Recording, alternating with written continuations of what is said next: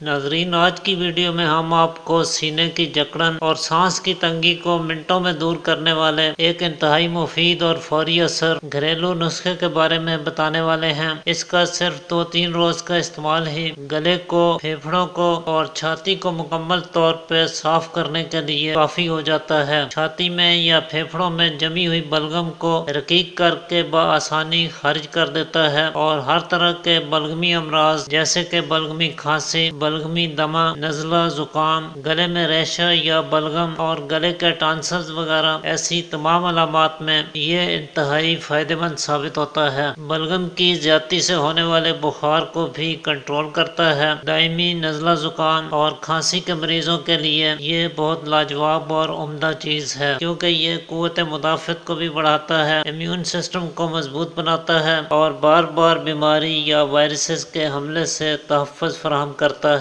तो ऐसा बेहतरीन नुस्खा शेयर करने पर एक लाइक तो ज़रूर बनता है। इसलिए जल्दी से वीडियो को लाइक कर दीजिए, क्योंकि आपके एक लाइक से आपके प्यार से हमारी हौसला अफजाई होती है। नाजरीन, इसके लिए आपने सिर्फ़ चार चीज़ें लेनी है। एक तो प्याज का रस निकाल लीजिए, दूसरा अदरक का रस, तीसरा तुलसी के पत्तों का रस, और चौथा आपने शहद लेना है। ये चारों चीज़ें हम वज़न लेकर इन्हें अच्छी तरह से मिक्स करके रख लीजिए, और इसमें से एक छोटा चम्मच सुबह, दोपहर, शाम। दिन में तीन मरतबा इस्तेमाल करें। इनशाला नया मर्ज दो तीन रोज में और पुराना मर्ज हफ़्ता दस दिन में मुकम्मल तौर पर कंट्रोल हो जाएगा। बलगमी अमराज के इलाज के लिए ये बहुत ही भरोसे का नुस्खा है। अलबत् इसके इस्तेमाल के दौरान वादी और बलगम पैदा करने वाली चीज़ों से परहेज रखें। ठंडे पानी की बजाय वार्म वाटर का इस्तेमाल करें और कब्ज की शिकायत न होने दें। तो आपको बहुत थोड़े वक्त में ज़्यादा बेहतर नतज देखने को मिलेंगे। आज के लिए इतना ही, नाजरीन। उम्मीद करता हूँ आज की वीडियो आपके लिए मुफीद साबित होगी। इसी के साथ इजाज़त चाहता हूँ। अल्लाह हाफ़